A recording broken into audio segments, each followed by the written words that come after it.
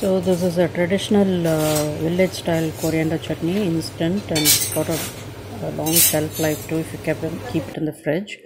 So you soak um, red chilies and tamarind overnight, and then you grind everything together in a mixie or in a traditional amikal we say.